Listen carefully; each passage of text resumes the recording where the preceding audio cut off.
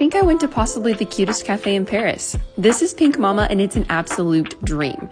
If you're looking for a good photo op, and let's be honest, when you're traveling and you're a girl, who's not looking for a good photo op? This is the place for you. Not only do they have good lighting for photos, but their food is incredible. I'm not joking when I say this pizza is the best pizza I've ever had in my entire life.